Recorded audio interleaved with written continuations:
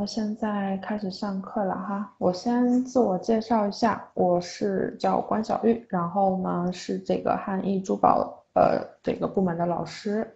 然后呢，我是这个从预科到本科到研究生，然后已经在圣马丁这个学习了五年了，嗯，至今是这个呃研一的这个研究生，嗯，在读。然后呃之前可能大家听过我上一个的那个讲座《原生圣马丁》在上上周，然后今天呢是给大家带来一个它的一个后续，就是关于商业首饰设计的这么一节呃呃 lecture，嗯。然后呢，这个整个手整个这个课程的课题呢，我们叫做这个重构鄙视链。所谓重构鄙视链呢，其实就是给大家颠覆并且重构一下这个对商业首饰的一个基本的一个认知，一个固有概念的一个认知。然后呢，这个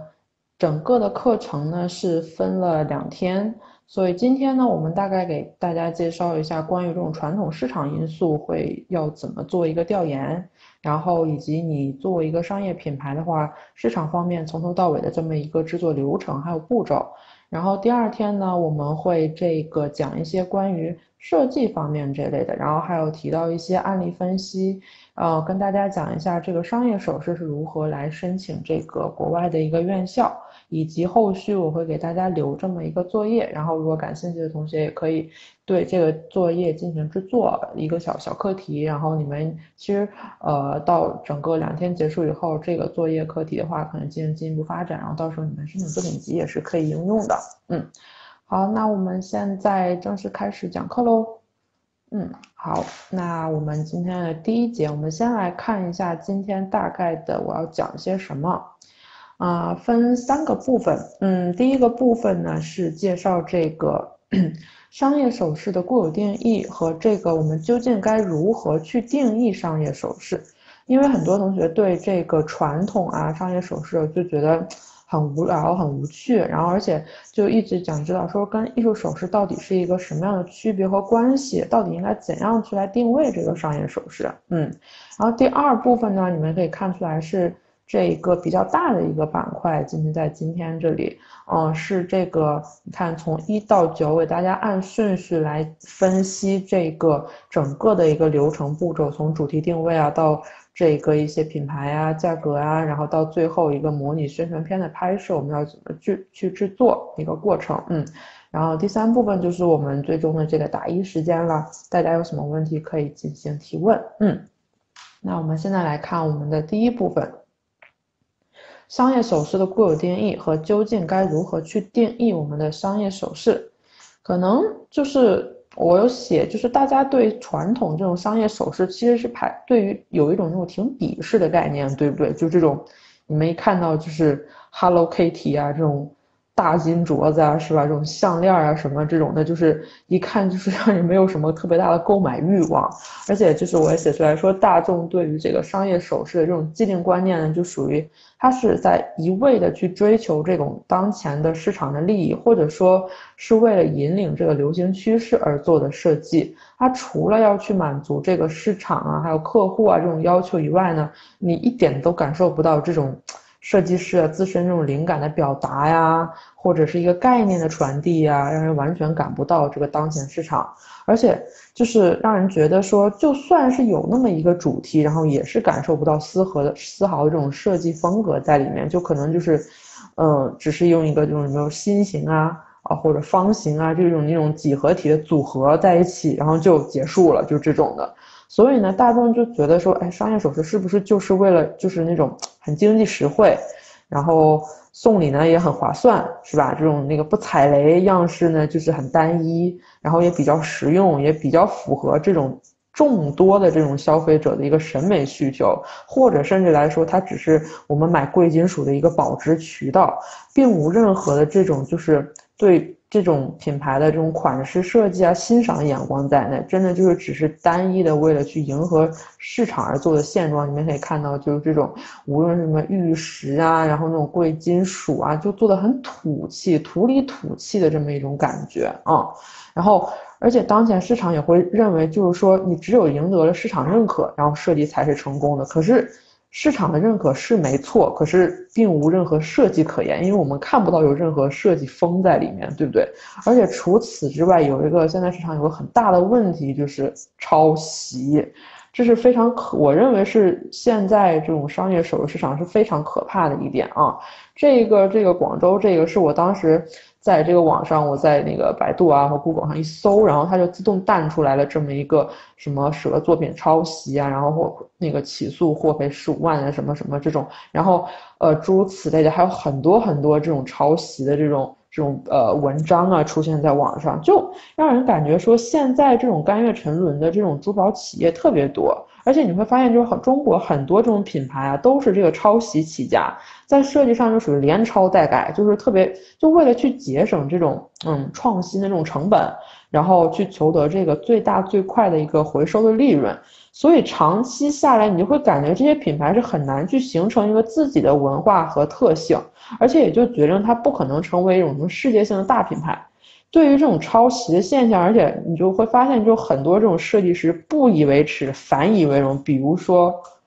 这一张淘宝上，我觉得大家都知道是吧？这种淘宝上有很多这种小店。但是左呃右边的这一个呢，这两对耳环是它这个品牌的当时一个原创的一个正版的一个设计。然后这个品牌叫 Les Nerades，是一个法国的一个呃首饰品牌，非常的小清新。我之后我今天也会它拿它做一个案例，大家等一下会对它有一个详细的了解。但是你们就去看一下这个。它原创的这一个设计，然后你再去看淘宝上的这一个设计，然后你再看这边他写什么特殊渠道拿货，什么店铺基本原厂原单，我真的就是我看到以后就真的是我打的这个字，我就呵呵不说话。你这什么原厂原单，我怎么不知道？那个这个品牌在国内什么时候还有这种原厂原单了？而且这种价格上的对比，你们也可以看得出来，其实它本身材质是差很大的。它真的是一个就是没有经过人家同意，或者就是说用了去剽窃这么一个，甚至是直接去扒来这个原型就直接来用了，这是一个，哎，只能说是它是一个很可耻的行为。它很缺乏中国现在很缺乏一个这种创新的土壤和意识的一个形态。就而且甚至他会去很多企业会维护这种抄袭的行为，这种其实这种是很不好的一个现象，就是它抑制严重的去抑制了这种原创设计的发展，因为你没有去支持这种原创设计，反倒是这种剽窃的这种抄袭的这种价格，因为它价格低廉，所以大家就会去买它的，这种是一个很可怕的一个现象。而且你会发现，国内很多这种所谓的这种首席首饰设计师，他都没有进行过这种开放性的这种发散思维训练，他就就没有办法去成为一个比较大牌的，或者说甚至说你真的在经过一些大牌的品牌的一些磨练啊课题这种这种国际性的一个设计师。他也，而且你会发现说，中国的这个企业在这个根源上，它是不鼓励这个创新的，然后也是不主张这个个性的，没有一个什么清醒的认知和坚持，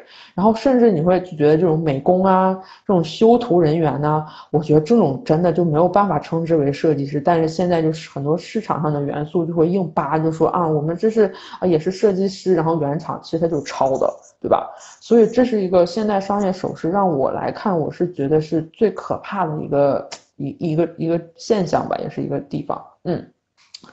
然后我们来看一下，那大家看完了这个传传统商业人就会觉得说，那传统艺术首饰是什么样子呢？又有一个什么样的区别呢？其实艺术首饰，我这里给大家是一个网上一个大概大概它的一个维基百科的一个定义。然后这三点我标红的这三点，其实是艺术首饰最突出的一个特征。那首先是什么？首先是一种这种非常多的这种艺术性或感染力啊，或者这种情绪上的这种表现形式。那还有呢，就是对于材料方面，它是这个提倡对材料的这个多样性的一个呃去呃使用，而且是尤其是针对这种非贵金属的领域。而且都是大力支持的，嗯，还有第三点呢，就是这种经济原则，它是不是特别考虑的，是完全是注重一个设计师观念的这么一个表达的，嗯，可能这种大艺术首饰，我觉得大家都比较了解吧，因为大家都在做作品集，对不对？然后自己也是想要多做一些概念方面的首饰，所以我在这里给大家简单的就举了几个例子，让大家了解一些材料的，比如说我们看左边这位，啊，也是我个人很喜欢的一个设计师。他算是一个混血啊，Peter 长，他是父亲是中国人，然后母亲是英国人，在一个呃算是 UK base 的一个呃首饰设计师，然后他呢就是你们看得出来颜色制作的这个呃呃饰品这个颜色非常的鲜艳。嗯，然后他的这个灵感来源呢，都是起源于他小时候对于这个海洋生物形态的一个改变。然后你看它的材料就会用到一些，比如说树脂啊、木头啊，因为它是木头或者是海绵泡沫这么一个基底。然后还有上面，比如说这种玻璃丝的一个应用，很鲜艳、很漂亮。然后呃，材料也是很多元素的。嗯，然后再到右边这一个 Nora Folk，我们可能都知道，觉得学纺织啊或什么这种接触尼龙材料都知道一个日本的设计师，嗯，他也是就是颜色也是很丰富，然后但是他对尼龙的这种应用啊编织也是达到了一个极致，嗯，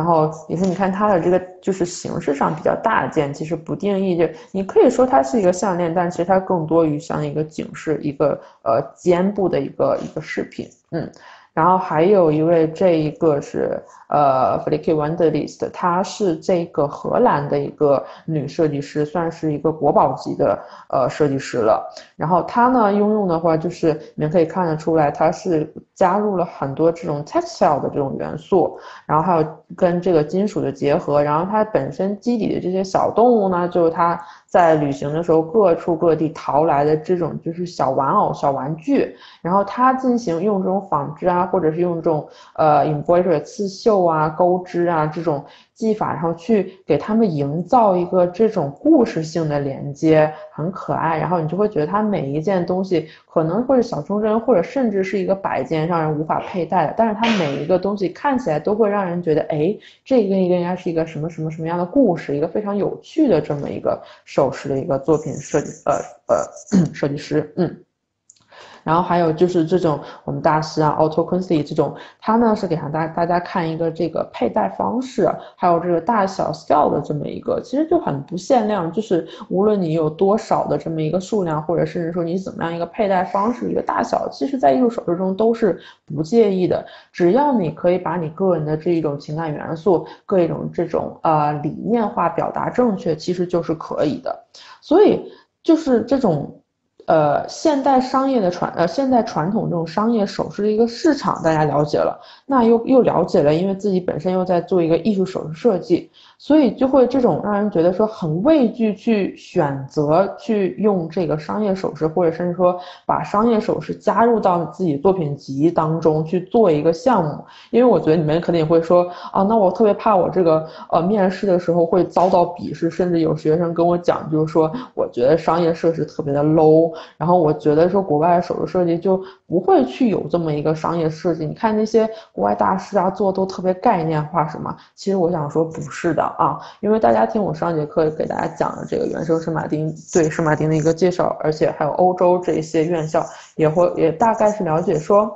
呃，以圣马丁为主，这个还有欧洲院校，它都是一直是支持，而且非常不排斥你去做这么一个商业首饰啊。然后你们所谓的这种国外院校的商业首饰都非常的理论化，我想说它是完全错误的啊。为什么呢？因为以 CSM 为例。它是会真的有这种尝试实践型的课题，比如我们说大二大三的时候。它会有这种跟呃不同的公司啊做这种 project 进行合作的课题，或甚至说这种自呃毕业展的时候，你会自我选择去做商业类的首饰，老师都是支持的，而且也会有这种公司来去资助你，呃去这个比如说你用一些贵金属贵金属啊这种金呐银呐这方面，他们是进行一个提供的，而且他们会有一些是会可以跟你签约的，嗯。然后到研究生啊，不好意思，到研究生的时候呢，更会有一个我们专门的这个课题，我标红了，我们就叫就叫它这个品牌课题，就是 brand project。它这是一个呃全面接触实践的一个商业模式的一个课题哦，大概这个课题呢是为期一整个呃一整个 term，嗯，然后从头到尾去了解一下啊，我到底这么一个商业手势是要怎么运营啊，我到底要经过哪些步骤，也是我今天将会给大家讲的后续这些东西，所以它是。存在这么一个实践性的，而非理论性的这么一个课程的，所以大家真的以后不要特别担心，说啊，我以后不能去做这个，啊，怀疑自己或呃，或怕这个呃面试啊，如果我一旦做了这种作品集进去，或老师会遭到鄙视啊，或怎么样，我申不到 offer，那是不太可能的。他反倒是会非常支持你，他看到会很高兴。嗯，那我们接下来就要看一下。这种其实你看他这个毕业作品里面是含有的这种，比如说这些呃，这个是本科的一个毕业作品，我同期的一个学生 Alina 她做的一个呃一对耳环，就你们看说就是很商业化，大家就是在考虑人群市场调查，然后现在也会是属于高定的一个范围内，大家也会都去购买，然后再加上这一些都是这么一个商业首饰的类型，但是你们看它这个商业首饰的类型，它其实你有感觉有明确的界限吗？它它跟这种传统市场化是有个很大的区别的，对不对？它其实说实话。它只不过就是一个是注重功能，一个更注重形式。就商业首饰呢，首先是要注重不同市场的市场和这个消费消费者的需求，更注重这个佩戴性和价值。它的设计呢是有的，但是呢是要为功能是服务的，对吧？而设计首饰呢，就是更注重一个形式感，可能就更看重设计设计者自身理念呐，或设计的一个表达方式，从而去弱化了一个首饰的一个功能的这个配一个佩戴性。这个功能，而且就是除此之外，可能它没有一个更多一个概念上的这么一个区别，只是可能说商业首饰更多考虑的是，嗯，我们要佩戴性要强一点，要给大家有这么一个啊，我日常或者一些特殊场合可以佩戴的这么一个，嗯，这个一个可能性，而且商业首饰呢。不是只可以用贵金属的啊，而且也是可以用其他材料的。它不不能说算作一个贵金属材料的堆积，像我们当前市场那种什么什么金镯子、金项链，这不是的。它应该是通过贵金属或甚至其他材料，通过材材料去展示设计的一种方法，然后结合市场来调研进行的这么一个设计，才叫我们当今的这种商业首饰。所以呢。但是商业首饰呢，这个分类也是有的。我这里呢给大家分了，可以看出，嗯，我们就叫它三类吧。但其实它远比这三类要多得多得多。但是这里呢是给大家一个，嗯，感觉上这种，呃，从高到低的这么一个分类，不是指价位啊，因为不不代表说这个 fashion jewelry 就会很便宜或怎么样，但是就会让我们大家这种感觉，嗯。所以首先呢，我们想要给大家看一下这种 fine jewelry 和 luxury jewelry。所谓 fine jewelry 呢，可能就是呃我们传统意义上的这种奢侈品类的。那么会可能比如说像我们这个现在呃北京有展是吧？这个梵克雅宝的这个呃精灵系列的这么一个胸针。哦，再到这个 Chanel 的耳环，再到手妹她这个传统的做这个王冠 Tiara 的这么一个系列，都可以看得出来这种金光闪闪，是不是？就是很 fine jewelry，但它不带不光是这个价格很昂贵，用了很多贵金属材料，而且到它的这个制作工艺上也会非常的耗时。然后，所以他会把这种东东西定为一个传统的这么一个技法类的，所以我们叫它 fine jewelry，甚至叫它 luxury jewelry。那剩下的这种 costume jewelry 呢，算是什么一个分类呢？它是，嗯，广义上来讲，其实 costume jewelry 和我们即将看到这个 fashion jewelry 没有一个特别大的一个明确的区分。嗯，只能说 costume jewelry 呢更，呃更简单一点，更适合日常佩戴一点，嗯，然后更大众化一点，可能我们叫它更多叫它 costume jewelry。然后我给大家列举了这个三个品牌，就是比较常见的，可能这一个呃 Stress Studio 的一个 jewelry，你们可以看得出来，这个呃很简洁。然后对于金属上呢，可能来说，呃，有一些可能是镀金，然后镀银，没有像不会达到说像 fine jewelry 那么的昂贵，说可能买不起啊或怎么样的，而且甚至不会说形式上那么就不适合日常佩戴，对吧？嗯，可能我们管这一类叫做 costume jewelry。那 fashion jewelry，fashion jewelry 其实我们直面意思就是所谓的这种跟时尚元素结合的比较强的。那其实它的元素材料呢也应用的比较多，可能是。会有一些呃，像这种亚克力呀，或者这种这种铁丝啊，或者什么之类的，或者这种呃就是涂料啊呀，珐琅涂料啊这种，或甚至到皮革的这些应用都会包含在里面。它的呃作为 fashion jewelry 的话，它这个材料应用是所谓的最广泛的啊。但我也说了，不代表它的它的价钱是便宜的，因为比如说。这一个耳环，我们都看得出来是 Marni 当时的一款耳环，所以它更多的是对于服装的一个搭配和一个走秀，或者甚至说是一个更针对一些呃年轻人群，或者是设计师群体，或者甚至是一些跟这种呃服装啊或配饰啊，呃或这种呃走秀啊一个结合的这么一个定位，我们管它叫做这个 fashion jewelry，嗯。那无论说这个 fashion jewelry 或者 fine jewelry 啊，或者 costume jewelry，它都算做一个商业首饰。那我们到底要怎么去定义它呢？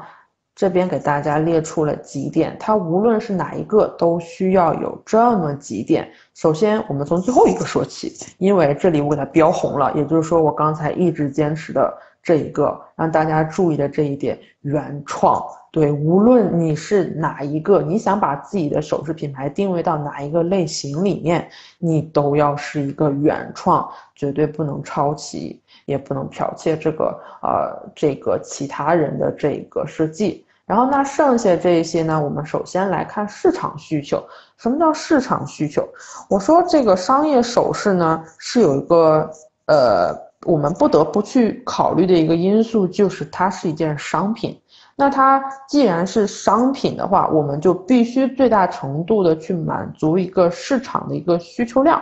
我们要去做它一个很大量的这种市场调研，然后去考虑我们一个这个市场定位，我们到底要去定位到哪些人群，甚至是地点。然后呢，关于艺术性的，所谓的艺术性，其实就是跟艺术首饰的这么一个没有太大区分的这么一个所谓的艺术性，就是想让大家知道，说是这个概念上呢与艺术首饰进行逐渐的融合，它。这个商业首饰也会有自己的 concept，只不过形式上呢更多元素一点。嗯，它是一定是也是经过一个设计的一个流程步骤的。嗯，不能说只是就是一个很简单的样式一个堆积那是不行的。然后工艺性，工艺性就会涉及到说这个设计首饰必须与现实的这个生产条件相适应，很有针对性，包括拥有这个设计的相关物质材料。啊，它是符合现有的一个生产工艺的流程和技术条件。或者有利有利于这个制作啊，有利于抛光啊，或者镶嵌啊这种工艺性材料也是更要丰富化起来的。嗯，然后那适用性又是什么呢？除了这种保留佩戴的特性以外呢，它还要满足这种功能、消费对象、消费场合以及大众这种审美情绪。然后就这种全部都是适用性的一个体现，而且呢，要求这个首饰设计能够充分融合当时这个人们的你所定位这个人群的一个生活水平啊，或者他这个购置能力啊、审美标准呢，甚至到一些就是呃文化习俗啊，或者这个宗教信仰这一方面的因素，我们都是要考虑的。嗯，然后呢，经济性就特别嗯显而易见了，对不对？就必须与相关的经济水平相适应。那包括这个材料的经济性啊，这个宝石啊，金属材料的一个消耗呀，我们这个基本的这个需要一个计算呢，到工艺的经济性，比如说设备啊、材料啊、人力的消耗，还有就是一个市场的经济性，一个大方向的一个经济呃大概走向，嗯，我们要进行一个了解。所以就是说，无论你把你的商业首饰定位在以上这几种这三类哪一类里面，它都是要满足这一些的。嗯，那我们现在来看一下，我们到底该如何做一个商业首饰的流程。嗯，也就是说，进入我们的第二部分，这一个一一个特别特别大的一个板块，我们先从它的主题定位开始。嗯，那主题定位到。就很多学生就会问，它的主题定位是不是就是我们平常做 project 选的那个呃灵感来源呢，或者 concept？我想说不是的啊，这个主题定位呢是跟那个完全不同的，那个是我们明天会要给大家讲的，那个也是要有的，但是这个是什么？这个是对你。这个品牌一个你要做一个品牌，或者说你只想简单做一个商业首饰的这么一个一个课题，那你首先要给你这个商业课题有这么一个风格的一个定位。那这那这个大家说，那我怎么去定位啊？那我觉得那定位什么都可以吗？其实不是的，你可以。去找三到五个你喜欢这种 designer 或者 artist 或甚至这种 case study，就是所谓 case study 就是这个品牌的一个调查，你可以去考虑一下，嗯，那你平常比较喜欢这个什么类型的一个首饰设计师呢？啊，或者是你平常喜欢一个哪一个呃去呃去买哪一个品牌的这个首饰呢？对不对？你可以去一个调查，然后把它们罗列出来，然后进行一个分类，然后你就可以找到说啊，那可能是我更多是喜欢这种。的，因为我底下有举例说，比如说，那我们就举举例开始啊，就说这种更多可能会喜欢这种可爱的风格，我喜欢这种啊色彩鲜艳一点呢，就比较有童心一点的这种的，那它相对应的你就可以罗列出来。那我给大家选了几个以我自身喜好的这个呃 designer 呢，我选了刚才其中一个 Felipe Wanderlist，还有呢啊可能还有 Miyazaki，可能如果大家不知道的话，我给了这张图，你们就显而易见了，对不对？这张图就是刚才这个我说的这个荷兰国宝级的这个首饰设计师，他呢就是偏向于这个做一些很可爱的这种设计风，一些小动物类型的。那这一张我只要龙猫一出现，我就大家都知道是谁了，对不对？还有 Miyazaki 宫崎骏嘛，我们的宫爷爷是吧？他呢就是也是很符合这一个类型风格的一个，他不能叫设计师了，他只能叫一个艺术家。嗯，然后再到我们这个 Yoshito Monara，就是奈良美智这个特别可爱的小女孩的这个绘画家、插画家。嗯，这三个人呢属于一个类型。大家看，哎，老师，那我这个呃，宫崎骏和这个奈良美智这个，他他们两个不算是首饰设计师啊，那我们也可以去做调研吗？我想说，当然可以呀，对不对？你只要去符合你你心中所想的这么一个风格，你是根据你这个风格去做的一个调研，不是说你一定要去找一个啊，我一定要找到一个呃。做这个风格的首饰设计师，或做这个风格的品牌怎么样？其实不是的啊，你呢就是只要去找，就是能满足你心目中你想要的风格，他曾经做过的一些这种，呃，可能涉及到的这一些，呃，艺术家也好，插画家也好，甚至是一个电影，甚至导演什么都可以，你去做这么一个思维发散，然后去定一下你大概的这种品牌的风格。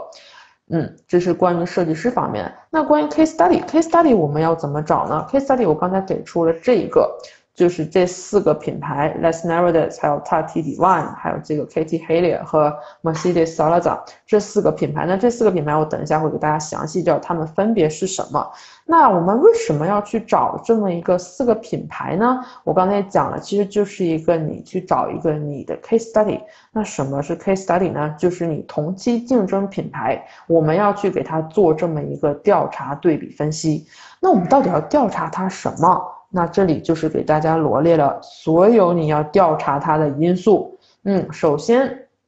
是这个 brand accent，就是。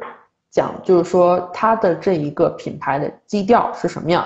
嗯，然后到 inspiration，它的灵感来源大多数会来源于哪一个方向，嗯，它的材料。它的颜色，甚至到它的这个 price range 一个大概的价格范围，比如说它可能是从呃，我按英镑来算，可能是从比如说一百磅开始有最便宜的，然后甚至到最贵的，可能我有个几千磅啊，四千磅、五千磅，你要去了解它这一个材料的呃一个价格的范围，嗯，然后再到它这个品牌的 target market，target market 呢就是这个市场定位，市场定位呢又分两点，是这个它的地点定位。所谓地点定位，比如说，那它这个品牌就是专门呃给呃中国市场做的，或者说它这个品牌是专门给这个呃英国市场做的，或者甚至是欧洲市场、美国市场，它是这么一个哪一个？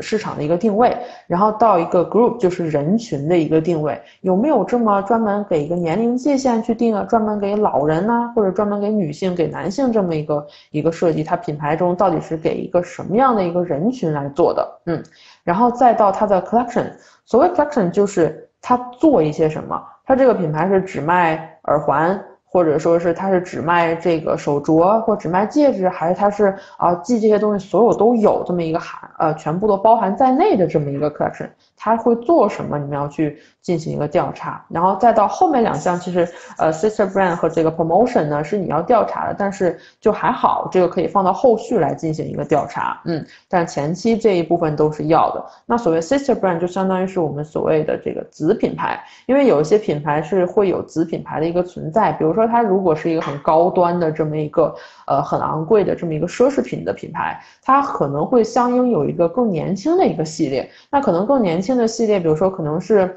嗯价格比较低廉，或者说是颜色比较鲜艳都有可能啊。看它要看它具体这个 sister 呃 sister brand 这个子品牌要怎么一个定位。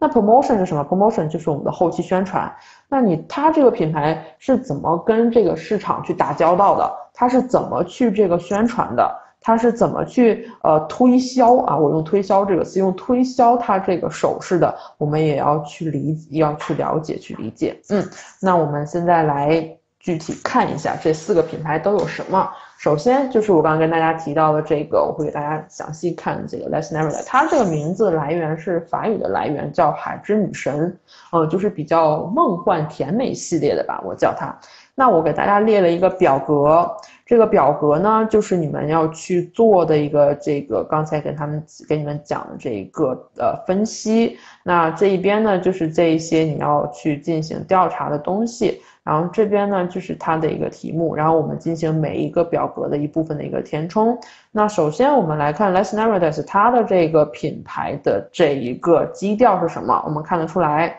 嗯，比较这种诗意化的，比较浪漫系的，呃，符合这个法国女人的这种浪漫感觉的甜美系的这一个风格。然后呢，它的 inspiration 的这个灵感来源呢，也看得出，比如童话故事啊。或者是这种 flora 这个花花系的这种结构啊，或者这种颜色纹理啊什么的，再到植物，再到小动物的这一些，它是都有涵有这个涵盖的。嗯，那它的材料有什么？它的材料是包含这个 brass，我们所谓的这个黄铜，然后它上面的这一些漆呢是这个珐琅涂料，嗯，然后再到一些这种莱茵石或者是这种 cut glass。嗯，这种石头的这种切割和打磨都会有的涉及到，然后用还有本身金属链的这么一个应用。嗯，那颜色呢，就基本上很多呃这个品牌的颜色这一方面都是一个 all colors 的一个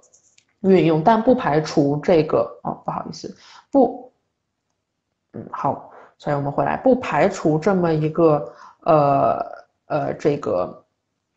会有那种只用单一颜色的一个品牌的存在，所以这个呃颜色这一方面，我只是先给大家放在这儿。如果你真的是想要做这种单一颜色品牌的话，这一部分你可能要要给它详细的去写一下，它为什么只用，比如说只用黑色或只用白色去做这么一个首饰系列。嗯，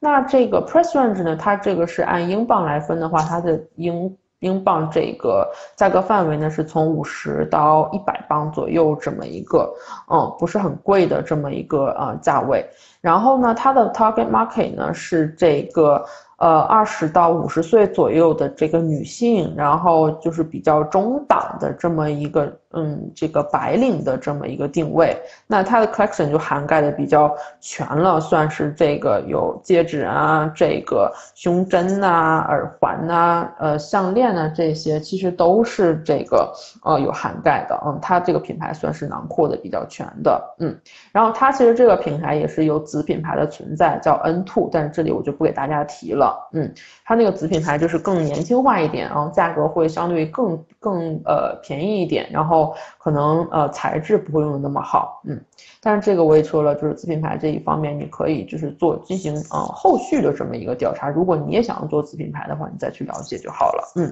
那我们先来看第二个牌子，第二个牌子是一个哥伦比亚的一个当地的一个品牌，叫 m e r c i Salazar。蒙西塞拉赞呢？你们可以看出它，你通过它这个官网的一个截图，这个一个算是一个呃成品拍摄的这一个呃照片的这种风格基调感，你就能感觉出来一个特别民族风，嗯，特别这种自然风的这么一个感觉。那我们来看一下。我截了这个四个耳环的这么一个图，嗯，然后旁边的这个表格，所以它的一个品牌基调呢，除了这种的一个民族风、元素风呢，你可以看到它这个，他自他自己官网上说，他这一个呃每一个系列的这个作品都是 unique 的，所谓 unique 就是很唯一的，因为都是用呃请专门的这个绣工绣娘去绣的这么一个东西，而不是说像我们金属染色啊这种的。嗯，然后它会呃很注重于这个颜色的一个对比，还有和光的这么一个对比。那它的灵感来源呢，就是呃哥伦比亚这个当呃本地的这么一个呃。呃，花也好啊，或者植物也好，或甚至动物也好的这么一个呃元素的一个进行的一个嗯设计，嗯，然后它的 material 的话，其实用料就要比刚才的那个要多，它会涉及到亚克力的存在，或者说涉及到这个珍珠，然后银啊，或者这个 fabric 会因为会有这个刺绣嘛，会有布料这等等等等这些很大量的一个不同种多元素材料的一个应用，然后它的 color 呢也是就。颜色还很鲜艳丰富的，然后这个它的这个价位呢，就要比刚才那个高一点，是八十到三百磅左右，嗯，然后但是它的 target market 同样也是一个 medium class。所以你们会发现说，那刚才那个也是一个 medium class，所以它的 price 跟它定位为什么这一个就要高一点，那个就要低一点呢？这个就是要根据你的这个材料的这里来定位。我们稍后也会给大家讲，到底要去怎么去算我们这个 price 的价格才最划算、最合理。嗯。然后呢，就是这个 collection，collection 呢，大家可以看出它的 collection 就少很多了。其实我在这里写了，也会有这个手链和项链，但是其实你们去官网，如果去它的官网搜一下，你会去看得到，嗯，它大多数都是去卖耳环的这么一个，全部都是大量的一个耳环的这么一个系列，嗯。那么这是这个品牌，那第三个品牌呢是这个，呃，我们叫这个 Katie Haley。它呢，我不知道你们见没见到，就这个是它最出名的这么一个项链，它算是一个，其实它算是一个奢侈品品牌了，它的价位非常的高。然后它的灵感来源呢，给大家看一下，就是呃，来自于这个 paper clip，就是这个指甲，就是我们说那个就是夹纸的那么一个东西。然后还有这个小动物的一个转换，你们可以看到，就是它的一系列的小项链。啊，特别的可爱，特别萌，都符合我我想要的这么一个市场定位啊，就是甜美系嘛，对吧？然后，它的材料呢就是真金了，真金和真钻石，就是我说了嘛，价位比较昂贵，它是一百磅，是一个很小的一个小戒指，到这个可能项链的话，如果是钻石的大小，要看可能要到五千磅这么一个高昂的这个价格。嗯，那它的 target market 呢就是不一样了，有一点变化，就是它是中高档的，甚至可以说其实它就是一个高档的奢侈品了。嗯。然后呢，它的这个 collection 呢里面也是有，刚才我们上一章有看到，也有这个戒指啊、耳环呐这种，但是它没有胸针的存在，你们发现到了吗？这个品牌是不做胸针的，嗯，所以它每个品牌的 collection 的包含都是不一样的，嗯，然后我们来看最后一个，最后一个这个品牌，我觉得这个应该是，呃，就是。年轻女生应该都知道的一个牌子吧，一个英国当地的品牌，最近几年还挺火的一个叫 Tatiti One，一个两个英两个当地的英国设计师联合开的这么一个品牌。它这个品牌呢是很受这个 Pop Brand 的一个呃呃叫什么叫欢迎吧，就是嗯就是受一个老小孩的欢迎，因为当时英国那边有有两个乐队，一个叫 Peaches，还有一个叫 Yeah Yeah Yes，他们这两个乐队就非常。主主打这个非常推崇他家的这么一个项链的这么一个佩戴，嗯，对，然后就会导致有很多这种追这种 pop brand 的这种呃小孩子啊，就会觉得啊，那我也很喜欢这种，就非常一度受到这个很流行的这种感觉，嗯，它是以这个我们看一下，它是以这个。材料方面是以亚克力方面，就是我们所谓的塑料，然后来进行制作的。甚至他们官网还讲了，他们还会留一些这种老物件，就是比如说人家不要的这么一种在旧物回收的这种，他们也是会进行二次利用的。嗯，然后它的这个价格呢，你看就是比较低了，对不对？就是十到呃十磅它都是有的，这个最低的这个价位可能就只是。呃，简单的一个小胸针呢，亚克力的小胸针呢，不接触太多设计的这么一个方向。然后还有这个到四百磅，然后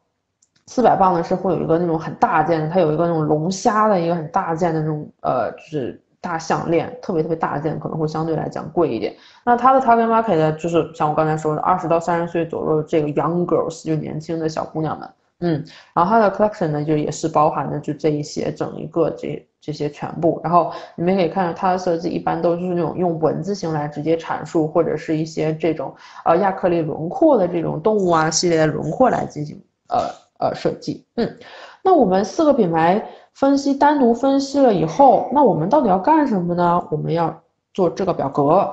要把四个品牌的所有的品牌信息进信息进行整合对比。然后挑出你想要从这个四个品牌里得到一些什么，或者你觉得你喜欢这四个品牌，它们其中分别的哪一个部分？嗯，那首先，比如说我标红的这些，就是我觉得对我要做的这个品牌，或对我要做的这个品牌课题有用的这么一个东西。那比如说我喜欢 Tati d i a n 它本身的这个呃很有趣，呃很很滑稽、很诡异风格的这种的。然后或者呢，我但是我又想要这种呃有这个灵感来源呢，也是希望从这个植物啊也好，或者是动物啊，或者是花卉啊这种的来源。然后它的 material 呢，比如说啊，我也是想要以黄铜一些不是要用贵金属，然后和亚克力这么一个结合来做的一个一个品牌。然后我的定位呢，也是希望是定位的偏低一点，是给这个呃 medium class 或甚至说这个 young girls 这么一个品牌。然后那我品牌 collection 我要什么呢？比如说，嗯，那我不想做这个戒指，我不想做这个手链，那我只想做胸针，我想做耳环、做项链都是可以的。嗯，因为可能有的时候有的人会说做戒指的话会涉及到这个 size 的问题嘛，对不对？可能有些人就说我不想去做戒指，但有些那种商业品牌就会觉得，哎，那我就要做戒指，我把你做戒指这个呃。这个 size 做给你做到极极致，然后让每一个人都会有他这种相应的 size 也可以，对不对？就看你要去怎么去进行一个选择。那这个就是你 case study 去找这么一个东西的一个作用性，就是要去整合你的所有的一个信息，嗯。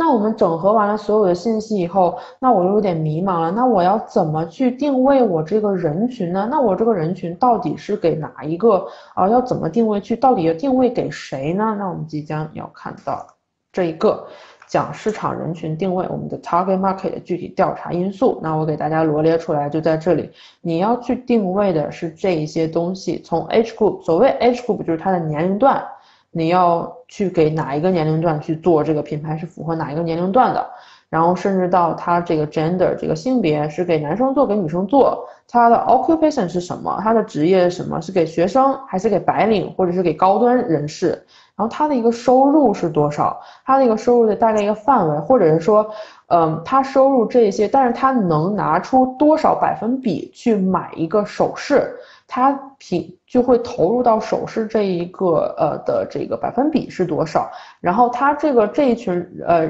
这一类人会买你首饰这一类人的这个性格是什么样子？是一个怎么样的一群人？嗯，然后会有他这个是哪一个国家呀？甚至到有没有一个宗教信仰的这么一个。啊，调查你都要去考虑的，嗯，那我为什么要把这一个标红呢？他性格特点标红呢？因为我想给大家举一个例子，嗯，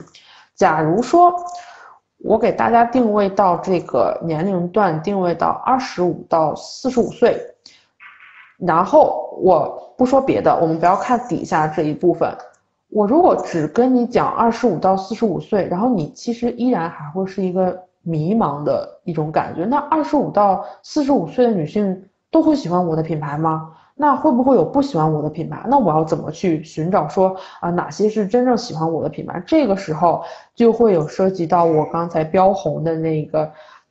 关于性格方面这这一部分的描述，是你要配备着你这个 H group 一定要有的。那我在这里给大家写了一段英文，让我翻译成中文给大家看，就是说这个品牌的我的目标客户是给那些。重视每个设计背后背后的意义的这个女性，然后是希望或者是或者是希望自己已经是这种快乐的、幽默的，或比较单纯天真的这一类人。然后她的这种我的这种这个潜在消费者群体呢，是那些希望要拥有这种很丰富多彩的，然后这种高质量的或者很独特的、独一无二这种产品而来付出来购多购买意愿的人群。那也就相当于我这个品牌是符合这个年龄阶段，又符合我这些描述目标、这个性格特点的一个人群的，而不是单单只是讲啊，我就是定位在一个这个二十五到四十五这个年龄阶段。嗯，所以要给大家提一点，就是一定要有对这个你的客户人群的这一个大概的性格，或者是他想要一个什么样子一个。呃，分析和了解，那或者如果你还是觉得说有点迷茫，那我们要怎么办？去做这个，我们管它叫做这个 mood board，关于你 client 的这个 mood board。什么叫关于 client 一个 mood board？其实就是幻想你客户人群的一个生活状态。那你要去想，会买你首饰的究竟是哪一类人，哪一些人？那我做的这一个就是跟刚才我给大家看到这这个四个品牌我对比，我做的 case study 的对比，他我就我就幻想说我的这一类人，呃，我的这一类客户是这一类人。那我们可以看得出，很年轻女孩，对不对？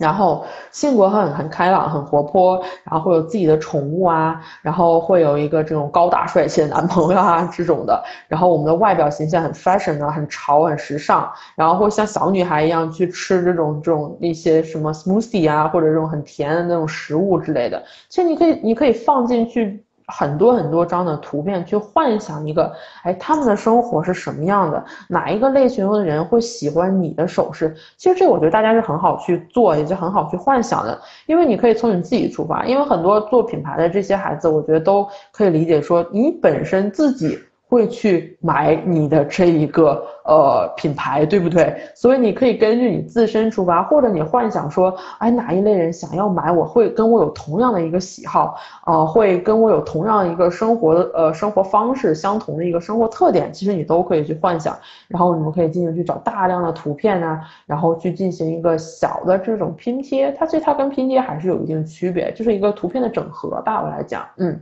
然后去幻想一下你的客户人群的一个生活状态，然后再加上你刚才对 target market 这个从呃年龄段呐到这个职业到一个定位，你就可以很好的定位出你的首饰到底要卖给哪些人。嗯，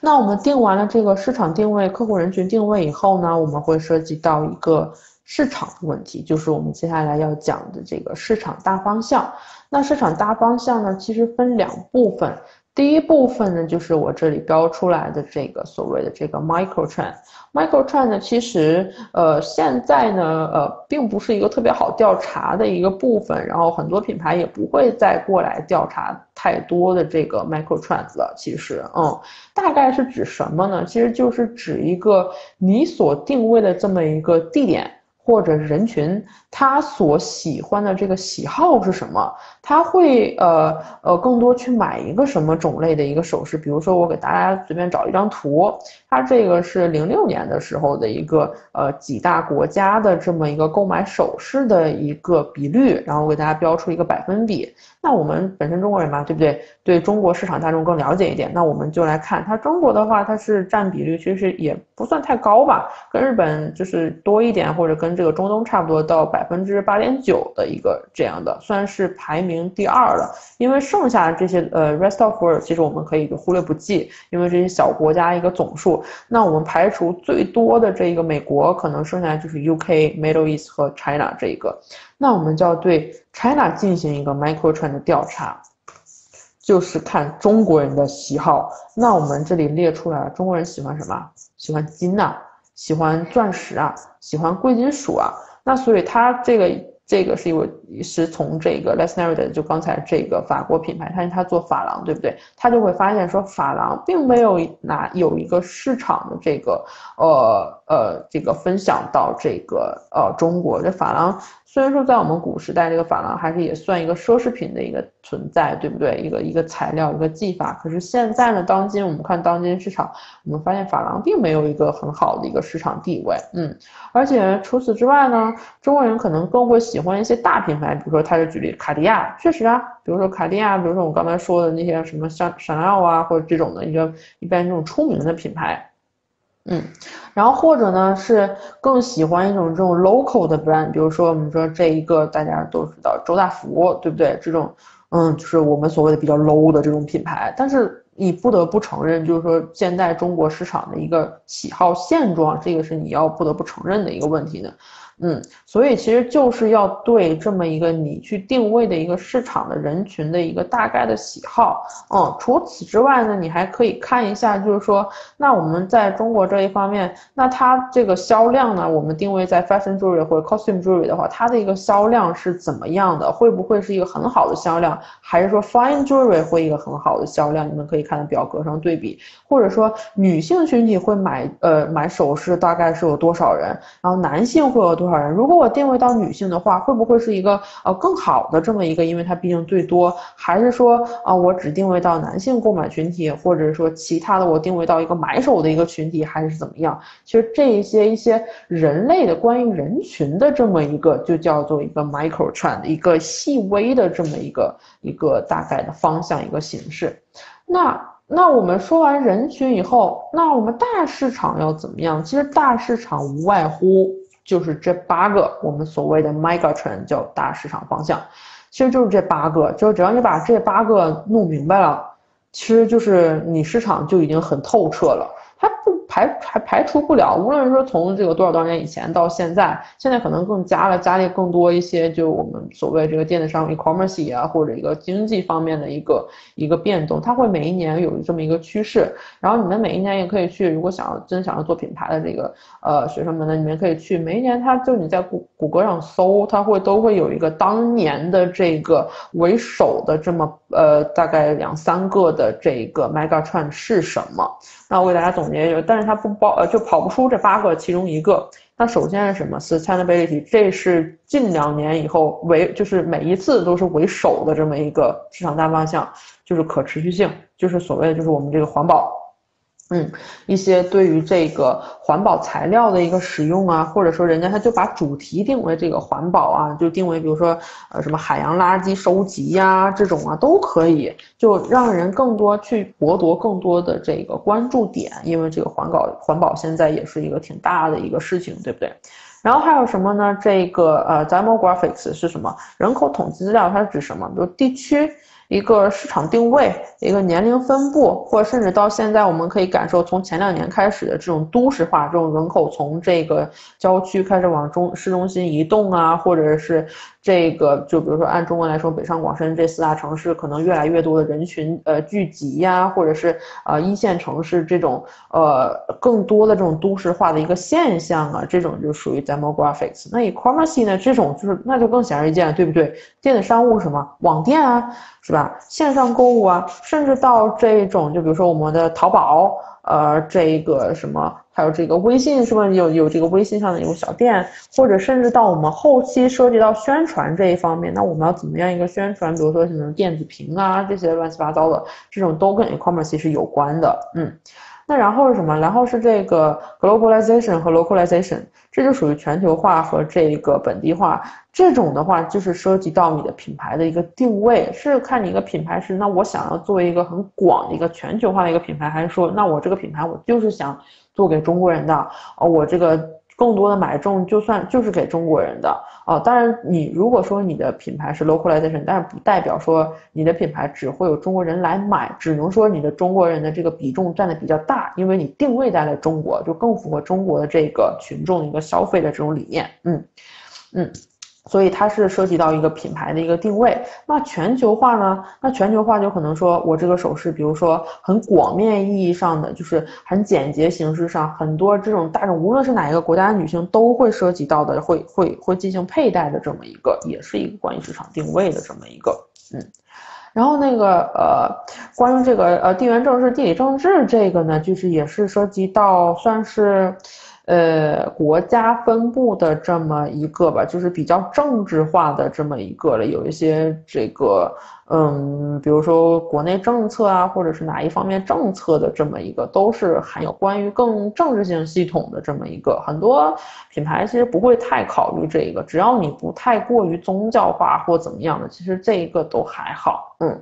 然后呢，就是这个 technology，我们的科技方面，这个也算是这几年非常发达的一个了。因为毕竟大家要考虑这个未来感、未来时尚感，对不对？它有什么呢？除了这种呃呃，就是这个未来感的以外呢，还有这种，比如说我们的软件技术。比如说我们用这个 Rhino 来做这个，其实它也算是一个 technology 啊，对不对？用你用软件去制作，然后进行这种 3D 打印啊，或者怎么样的，也会涉及到一个你这个材料的一个多样化。比如说有没有什么新兴材料啊，是我们没见过的？比如说，呃，我们都知道最近你们申请的话都知道有一个呃新兴的科目叫这个 Material Future，一个未来材料的一个研究。那它更多的就是也会涉及到这种技术性问题的一个，嗯。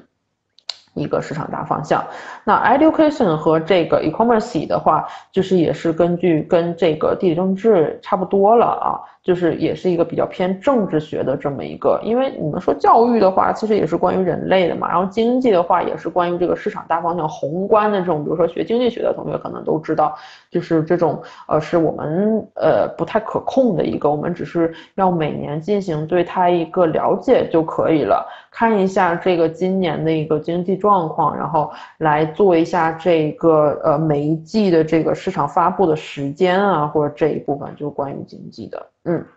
那我们做完这一些以后呢，就是可以考虑哦，其实这八个里面我还有点想说，我刚才忘记了，就是说。不是说一个品牌你一定要把这八个都考虑全了，我这个品牌才能活着。你要考虑的可能只是去考虑其中的两三点，其实就够了。你们但是你们需要进行对品牌，就是这八个麦高创意进行一个挑选。你首先定位一个品牌，就我之前说那些一系列什么 K 萨里巴拉巴拉定位定位完以后，然后你去考虑，那去挑挑两三点，觉得哎，我觉得我觉得这个电子商务对我有用啊，那我选择它。然后我觉得这个我更会涉及到很多环保性，我要用环保材料或怎么样，或主题涉及到它，那你去选环保。那你选完了以后，对他们两个要进行一个很深入的研究。只要对他们两个进行深入就可以了，其他的那些只是像我刚才说的，大概了解就足够了啊。这个市场大方向是可以的，就是嗯，每年就是关每年这个年初的时候，呃，年初年末的时候关注一下这个网上这么一个呃关于配饰啊或者 jewelry 啊或者甚至时尚方面的这么一个市场调查就够了。只要只要密切关注你想选的这几个就可以了，嗯。那我们接下来就要开始说一下，我们这个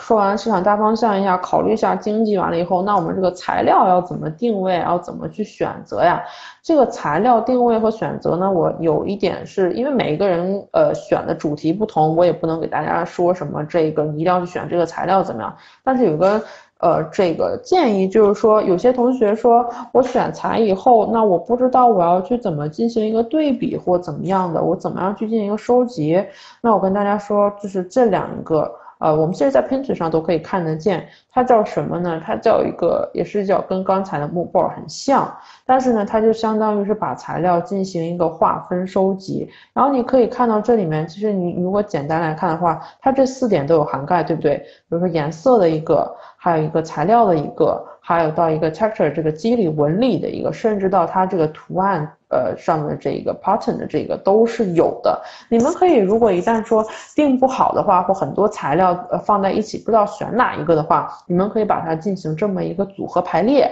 然后多次组合排列，排列一个拍一张照，排列一个拍一张照，然后你们就会把所有的照片洗出来。然后你们再进行挑选，这样你们就会很快的去选出到底哪些材料是相对应你这个品牌应该选择的。嗯，那或者说如果没有这么一个材料，我们不知道，我们现在预期没有这么拿到一个小样的话，那我们要怎么办呢？那就下面这一些。这些，这个我们先看右边这一部分，这一部分就是我刚才说，如果没有一个想要，我们要怎么办？我们比如说，我们就可以去上网找大量的图，或者上杂志上找大量的图，去考虑说，假如说你幻想说，我想要用亚克力。那我想用亚克力的话，亚克力都会用在哪里？比如说，哎，我鞋跟或者是我一些手包上都是亚克力。那我们进行把它一个图片的收集加裁剪，然后把最终这些你想要、你想要或者你可能会用到的所有的一个材料进行一个剪辑加总和，都放到这里面，然后来看。说，嗯嗯，那可能这一个，嗯，我不想把它金属加在这里，觉得它特特特别的突兀，那我可能把它扔掉。那我可能更想多加一些珠子进来，呢我们可能把它要放大化或怎么样的，然后再进行一些重重组和这个对比，嗯。然后同样的，你可以一样做这些关于你你首饰品牌定位一个颜色的一个，这是也是我当时这两张都是给刚才你们所看到我列举的那四个品牌我的一个品牌的一个对比。那它那我希望我我既然刚才说了我要定位到一个年轻女性化的，那我的颜色要怎么找？那当然去从我们年轻女性的女孩的这个衣着打扮。还有这个，甚至这个化妆，对不对？口红啊这种的，或者我们平常拍照也喜喜欢这种地点啊、背景风格来提取颜色，这是最直接的一个颜色提取，比如染发。然后再到这么一个牛仔裤啊，或者这种这种小衫儿啊，到这种我们会用这种布灵布灵、闪亮亮的这种很可爱的这种小星星去进行一个化妆搭配啊，然后再到这个我们很漂亮的这个口红颜色，然后衣服到这个衣服这种的呃深色系，我们会挑一个怎样的一个对比，都会有一个颜色的存在，所以这个是教大家去做一个 m o o b a r。当你会很迷茫对于材料。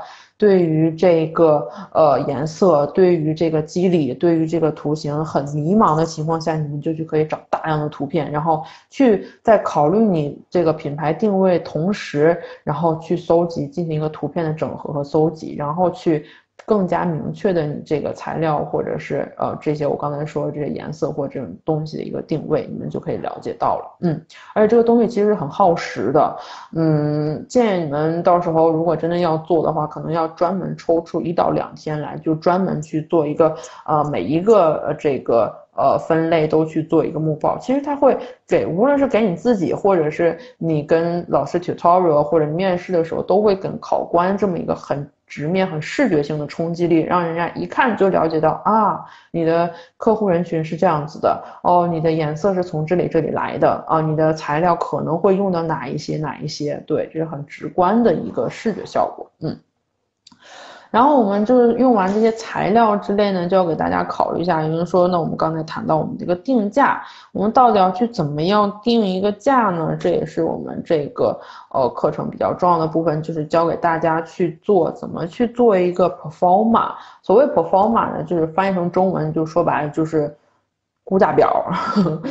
特别特别突然觉得特别土了，有没有？我们还是叫它 performa 吧，对吧？就叫 performa，嗯。那这个表呢，是给你自己看的一个这么一个表格啊，是每一个这个做商业品牌的人士都要必备的这么一个东西。嗯，那首先我们来看这一张，这张比较简单了，对不对？这张就是首先你要有一个，比如说我要做一个耳环，那我这个耳环系列叫什么？这是呃这个这个系列第几件一个名称。然后呢，你要放它的图片，然后就以以防这个弄混，是吧？你要把它这个正反两面或者左右两面或怎么怎么样的这个几面。图片三视图也好，把图片小图放在这里，然后这些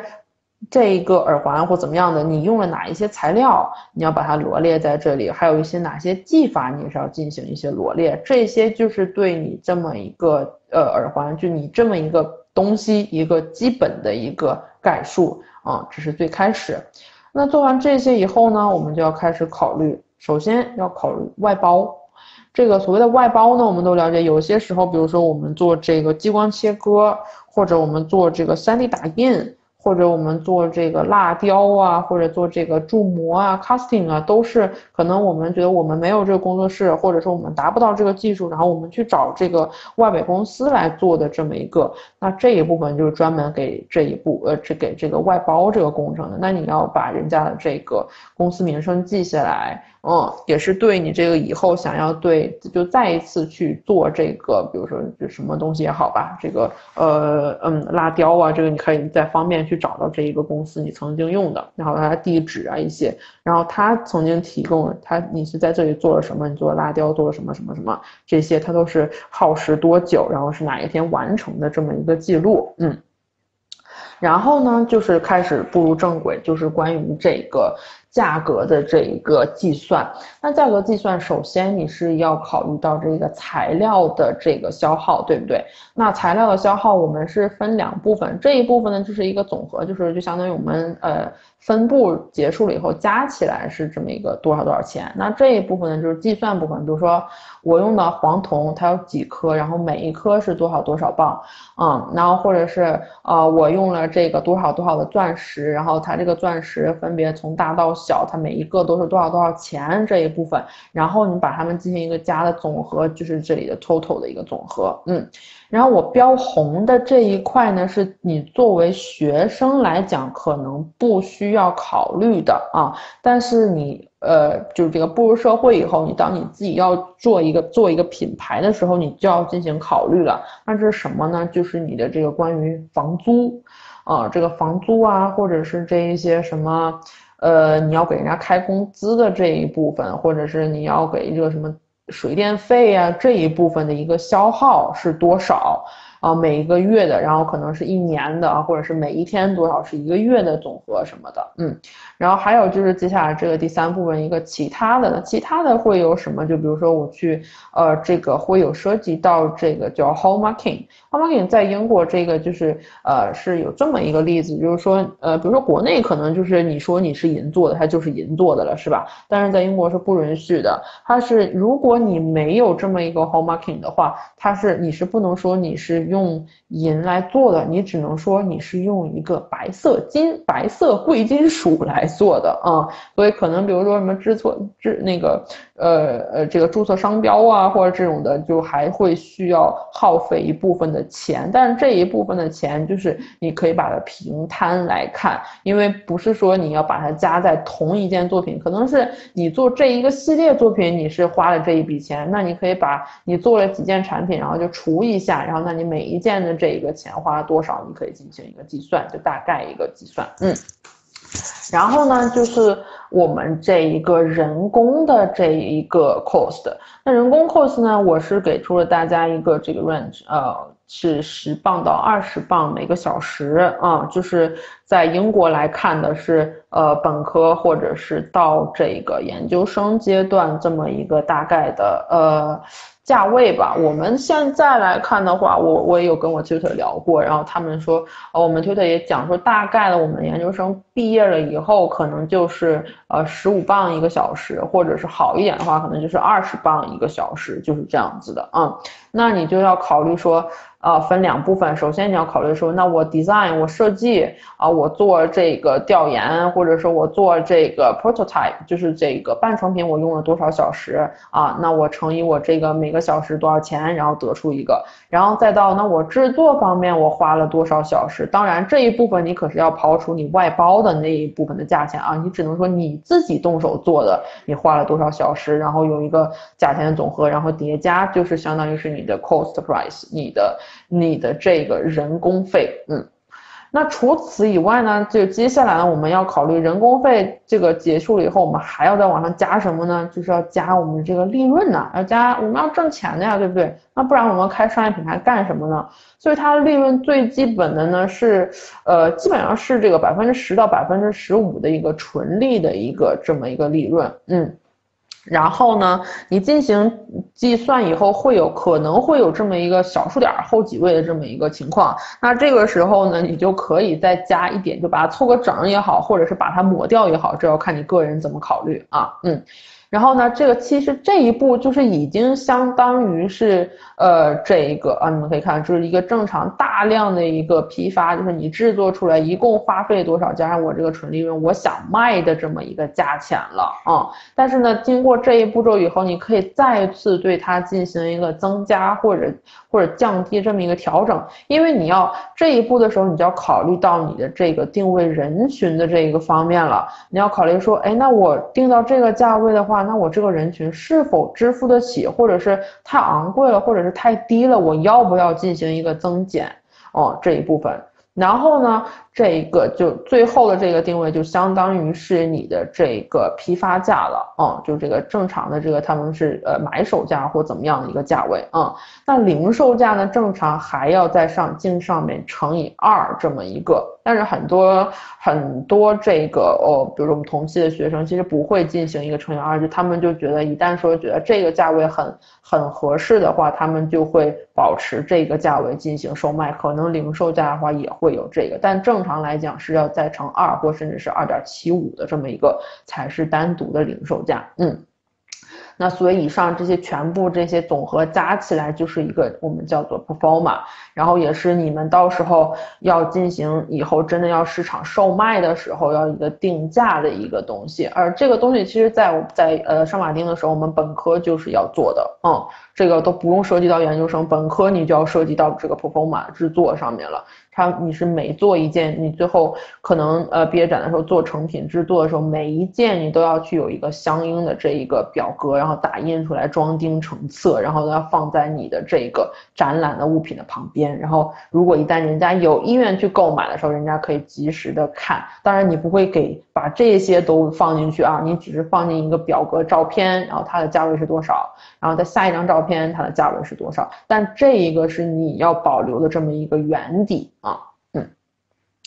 那我们说完这些以后，那我们看到下一部分，我们到了这个 collection 定位。那 collection 定位，我刚才也跟大家提过了，其实 collection 定位就是到底我们这个品牌要做一些什么。那我们这给大家列罗列出了这个所有可能作为珠宝意义上来讲会涉及到的品牌涉及到的一个内容含量啊，比如说这个耳环。到这个 clip-on earring，所以 clip-on earring 就是耳夹，就是呃，这个是我当前当时给我自己定位的一个，因为我自身没有耳洞，然后我的定位就是想要给无耳洞人群一定要做的一个耳环的一个品牌，嗯。那耳夹还有这一个呃项链，然后还有戒指、胸针，再到这种胸针和 pin 还有点区别呃，胸针可能会更大一点，pin 会会会多指一种那种小件那种小 mini 版的小胸针吧，我们就叫它嗯。然后还有一些这种 bracelet 这种呃手链呐，或手镯呀，或手环呐，这种都包含在 bracelet 里面或 bangle，嗯。然后还有就是有些人可能会做 headpiece，所以就那种比如说我们的发簪、发钗，呃，或者是这一种呃小帽子啊，或者什么都可以，这种小头部的一个配饰，嗯。然后还有就是一个 accessory 的一个这种，比如说我们呃知道这个嗯做。包包带上的一些小配饰，或者是一些小挂件儿，它都可以算作为这里面。然后到最后一个，我括了括号，就是你依然也可以去做一个 object，做一个物件，它没有一个佩戴性，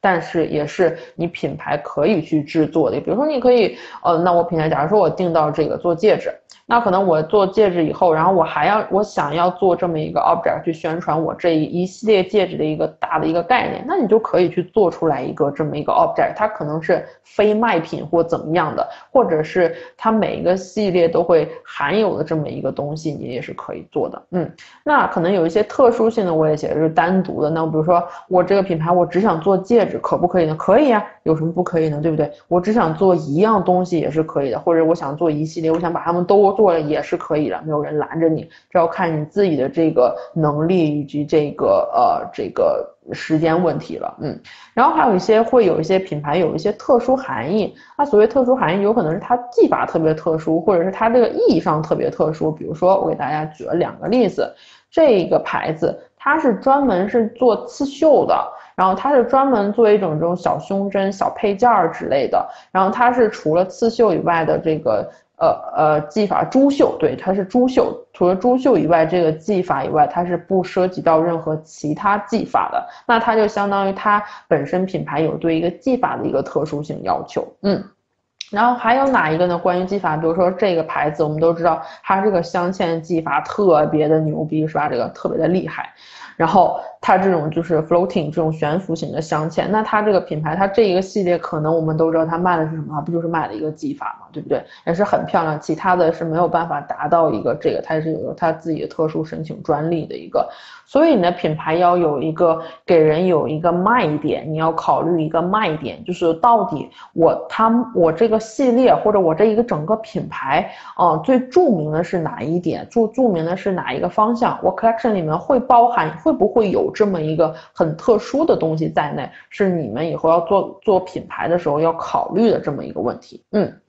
那我们以上这些乱七八糟，把这些呃什么 case study 对比分析啊，或者这种什么 collection 定位啊、算价啊，全部都算完了以后，我们该去考虑哪一些呢？这个时候就会有一个哎，作为我们这个商业人士，这个最讨厌的一个东西就叫做 SWOT。那什么是 SWOT 呢？就是一个，呃，我叫它一个自我分析的这么一个自我。就有点像你们做 project 的时候要考虑一个 evaluation，其实它跟 SWOT 是一个很像的一个东西，对，只不过是把它一个就是这种相当于是表格化，嗯，那 SWOT 什么叫 SWOT？它它每一个字母其实代表了一个单独的一个单词，那 S 呢就是 strength，那就是指我们这个强项是什么，然后 W 呢就是这个我们的弱点，我们的 weakness 是什么，然后 O 呢就是指我们这个品牌的 opportunity 是什么，就是这个有没有哪一些更利于我们发展的机遇以及机会，以及到最后一种，它我们受到的品牌有可能潜在的威胁 threat 是什么？嗯，一个进行分析。那我给之前就是。这一个我今天给你们一例的这个品牌进行了一个分析，比如说，那我的强项可能是什么呢？可能是我把它定位到了一个 fashion jewelry，呃，一个这个年轻化的一个女性会喜欢的这么一个东西，会引领去引领这么一个流行的趋势，或者甚至到这个呃颜色会呃鲜艳的对比，去很呃方便的去吸引这个女性的注意力。然后甚至说我会想要用这个很特殊的这种珐琅技法，然后它的一些不可复制性也是我的这个呃强项。然后可能还是呃我不会去大量的这种大规模的生产啊，怎么样？它是纯手工的制作，也是一个。强项，然后就是还是个环保材料啊，还有这一个我的这个可能我会定一个很大的一个 price range，然后会提供给客户的特别多的选择，嗯，然后或者是我本身是一个 UK based，但是是一个 Chinese 的 jewelry designer，一个混合的设计文化背景也是我的这么一个品牌的一个强项，算是自身的一个强项也是，嗯，然后那可能有一些缺点，有一些弱点是什么呢？我只属于一个完全一个年轻的品牌，一个新兴品牌。是很缺乏经验的，对市场的了解度呢是不够的嗯，而且资金呢也是有限的，对不对？然后还有就是这种市场呢，可能更针对于欧洲或英国那边，可能中国人对法郎，我刚才也讲了，不会特别多的这一个去购买，嗯。然后那我可能会我会有什么这个机遇呢？就是说，首先我定位的这个年轻女性呢，她是一个最大的这个购买 jewelry 的一个消费人群，所以有可能会有很多这种客户潜在客户。然后 fashion jewelry 呢，也是在欧洲的市场呢群体是很庞大的啊。然后而且呢，我如果是在这个，因为本身是这个 Chinese jewelry designer，如果我把这个生产商定位在中国呢，我们也可以知道我会降低很多这个成本，就是说说。这一些都是我可能品牌上的一个呃一个很大方向，很可能是让我赚取利润方面一个一个机会一个机遇。嗯，那我会受到哪些威胁呢？受到威胁，首先我们不得不说的就是这个 fashion jewelry 是一个非常高的一个竞争区域，因为现在 fashion jewelry 的品牌已经泛滥了，对不对？那我要去。怎么样从这种呃所有的一个 fashion jewelry 品牌一种去去跳脱，去赢得人家对我的一个格外的关注，就是我是一个潜在的危机，嗯，而且我可能觉得我自己定位在呃就是几百磅的话，可能价格相对会较高，可能欧洲人群觉得价格会高，因为毕竟有些 fashion jewelry 都是那种就是很便宜，可能十几磅啊这样左右的，那我要去怎么样一个应对？然后针对人群也是针只是针对了一个。这个年轻女性的一个，那可能说不是不是有很多年轻女女性都支付得起的，或者是真的都都会过来买，就是这些就是可能会我潜在潜在性的一些危险性，我品牌的一个会遇到的一些很大的问题，嗯，然后我也给你们举的例是。这个 Les Nervous 他曾经做过的这个品牌曾经做过的一个呃自我调研分析，然后你们也可以看得出来，他也会说觉得自己强项就是因为他这个品牌已经在法国成立了三十多年了啊，是吧？然后他的这个主的设计工作室呢是在这个巴黎，然后这个一个很大，因为巴黎毕竟是首都嘛，对不对？然后他有就每一季会有不同十五条不同的 lines，不同的这个呃发行系列线，嗯，然后很多啊也是这种。呃，他觉得他自己的这种呃嗯缺点，就是也是会很少经验，因为因为这一个当时 Swell 他是给这个他想在美国去开一个新的店，然后去做的这么一个 Swell，然后他就会觉得嗯美国可能还没有这么强的一个这种对于他这个品牌的一个品牌意识，嗯，然后美国人的这个呃能不能是能不能接受这种法国这种甜美可爱这种浪漫风呢，也是一个问题，嗯，然后以及到他这个有可能会得到呃。呃，就是赚取大量这个呃金钱的这么一个机遇的话，就是它有这么一个，我刚才也跟大家提过，它有一个子品牌叫 N Two，就是更年轻化，价格可能也更低一点，然后更夸张化，可能会赢得美国这一个方面的一个喜爱人群的喜爱。嗯，对，所以它这个 SWOT 呢，就相当于是你们。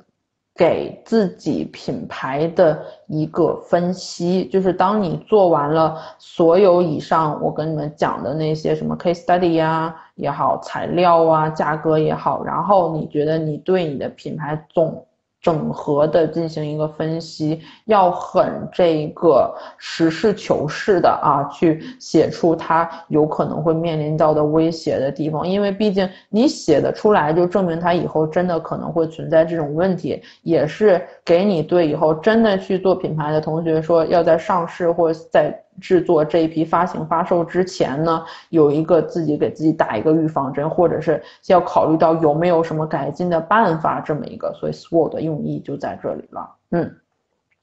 那我们把 SWOT 做完以后呢，其实就可以进行制作一些这一个 prototype，就是我们所谓的这一个呃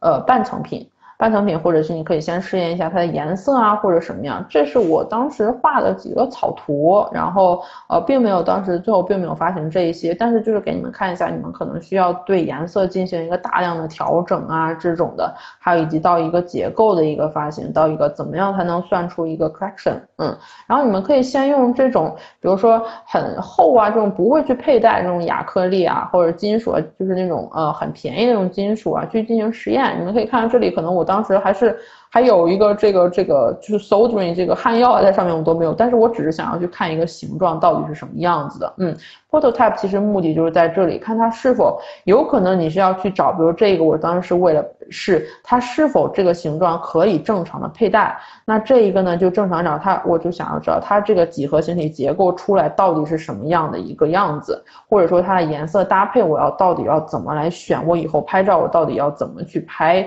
这么一个？所以 Prototype 的嗯目的就是很明确，就是说你要去大量的实验。去这个去看一下，这个它跟你的 test model 也是，嗯，有一点这个很微妙的相似之处吧，嗯。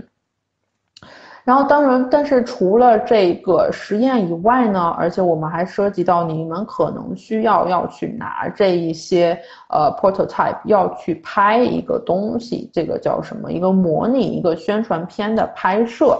因为就是宣传片的拍摄，你们可能都会说，老师，我们不能找团队吗？我们以后设计品牌有品牌的话，肯定不可能是我们自己一个人呐。但是是我承认这个是一个团队来制作的一个东西。但是你们作为一个主设计师，作为一个品牌的这么一个背后的总监，你们要去了解拍摄模拟宣传片的，就模拟这个宣传片，你们到底都要拍一些什么？你可以。从一开始拿一个小课题的时候就去尝试去拍，我们可能不需要做一个长时间，因为广告片可能就是呃两三分钟最多了，对不对？我们都知道不会很久，甚至有一些广告片可能就是几十秒，可能五六十秒，可能四十多秒，可能就结束了，其实就够了。那。你们要去了解一个这种拍摄的过程，我们到底要去拍什么东西，以至于你们到后来真的去请团队去制作的时候，也可以了解说他们拍完了以后，你可以感受到说，哦，我觉得这个东西可能我觉得拍的不够好，我觉得可能还要加什么东西进去，或什么东西过多了，我要怎么删减。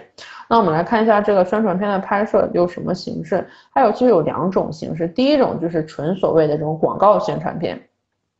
那广告宣传片呢，就是是干嘛？其实它是很简单的，它其实你不一定会把你的这个呃呃 prototype 或者成品啊展现出来，只是给大家一种这种氛围，一个佩戴的一种氛围或者气呃气氛呐，或者是这种呃场所啊，或者一种佩戴感受给大家展现出来。嗯，你比如说，就是举一个例吧，就是就是那个呃，你们应该都看过那个梦龙。呃冰淇淋的那个广告，就是它当时出来不是有一个豹子嘛，对吧？一个女士和一个豹子在那边出来，然后那个豹子一直在走，一直在走。可能最开始大家会觉得，哎，这到底是什么？最后梦龙的那个巧克力的那个呃，就是我记得是夹心的吧，好像是。然后出来以后，我们说啊，就是让人给一种就是哦，是这种多元化这种风格的感觉，是一种氛围和一种气气氛的这种感受。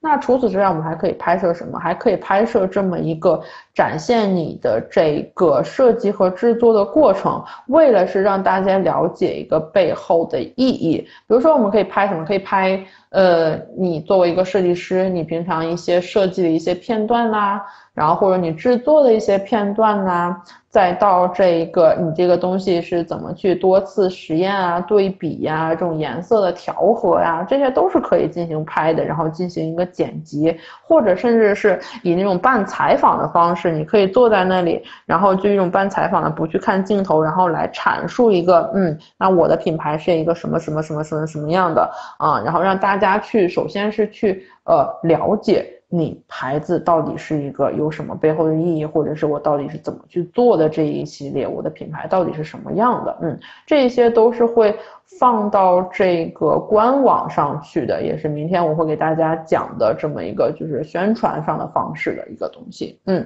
那无论是这个第一部分这个广告片，还是这个制作的，都要要包含，就是都跑不出这七点啊。首先你一定要。我就算广告片，你一定要告诉他你拍的到底是什么，你这个品牌到底是一个什么品牌？比如说我这个品牌是一个 fashion jewelry 的一个品牌，我这个品牌是一个呃 luxury 也是一个那种高档奢侈品、高端定制的品牌。你要在最开始或中间，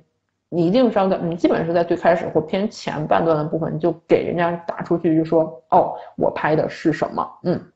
然后就是，呃，一个 focus 在你的市场定位上，然后最重要的其实是这一个你的这个品牌的故事背景，你要给大家阐述好了，嗯，然后还有一个你品牌的强项有可能是什么，这都可能是会涉及到的，或者是一个佩戴的技法，比如说像我刚才说的，那我的品牌我就是专门做给没有耳洞的女生的，那肯定就是我要展现出这个专门去拍一段，就是跟人家讲说，哎，我这是有一个很特殊的专门耳夹呀，或者。怎么样一个新兴的一种呃给无耳洞的女生戴的一个呃耳夹的一个佩戴方式或怎么样，然后呢涉及到我刚才说宣传片这个彩呃场合和这个氛围你要去怎么表现，可能要去就是那种呃表现的更自然化一点呐，然后或者是要更这个呃商业化一点啊，都市化一点啊，都是有可能的。要根据你这个到时候你的品牌的一个选择，然后去定位它的到时候你拍摄的哦，不好意思，定位它这个，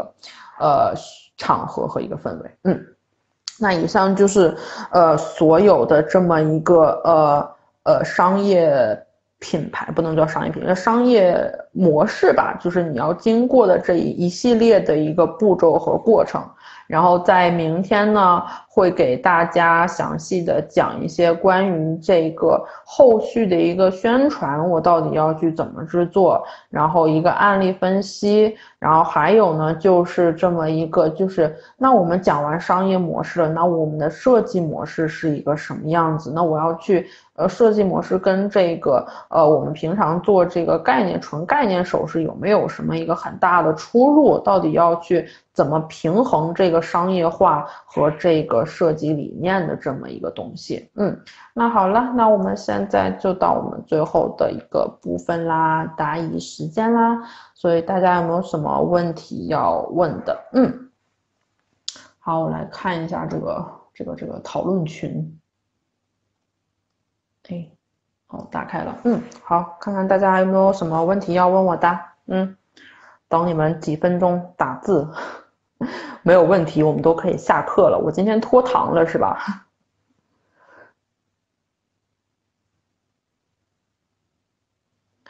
嗯，市场大方向数据你是从哪搜索到的？呃，我明天给你们一个总和好了，让你们能找到一个网上。其实基本上都是从谷歌上搜索到，会有两三个那么一个相关的网站，专门是讲这种市场的，然后你们可以进行一个看。我并没有，我今天没有没有把那个呃总结出来。其实你们从谷歌上最开始的两三个都都有，我记得，嗯，很多，还有一些是从一些文章类的杂志上面也会写。你们可以也可以问一些那种就是关于经济方面的话，如果你们有同学学这方面的话，他们也会有一个更加专业的一个网站。我明天给你们给你们那个什么吧，给你们写在那个 PPT 里面嘛，然后你们到时候可以记下来具体的一个网站。我记得有一个是一个叫什么 Daily 的一个网站，它顶上还有还是挺全的。或者你可以直接在谷歌上就搜索那个呃 Megatrend 或者是 Microtrend，然后你打二零一八或者是二零一九这样，它就会有一个很大量的一个文章数据分析都看得到。还有什么问题没？好的，那我要下课喽。